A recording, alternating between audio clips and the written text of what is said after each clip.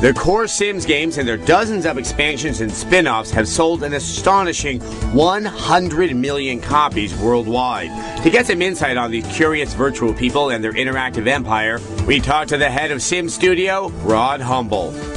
I think that The Sims was um, originally, as with a lot of uh, a lot of games that come from um, Maxis and those group of guys and Will Wright, really had a just a target of maybe someone new will buy it.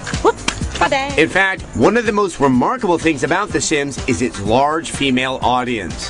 Nancy Smith, my boss, likes to call call it a uh, sexually transmitted game. The boyfriend would buy it, and the girlfriend would play it, and then it would get passed around. And I think it spread and spread uh, because of the universal concept.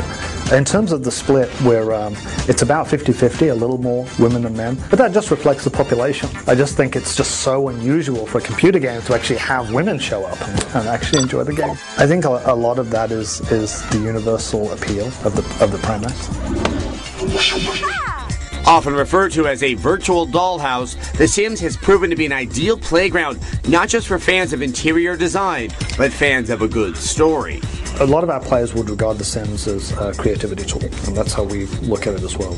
And the storytelling mechanism in The Sims is actually quite interesting in that we don't give you a story. What happens is you'll go in and you'll play a regular life, and then the game will push back and throw some little anecdote in there that you didn't expect, like the kitchen catches fire. You meet a beautiful person you didn't know you were going to meet. And then that anecdote gets um, put into the story, and then the player will take that anecdote and move the plot line um, in their own way.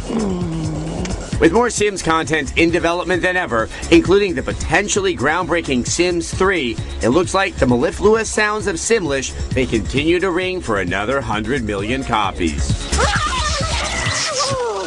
Oh!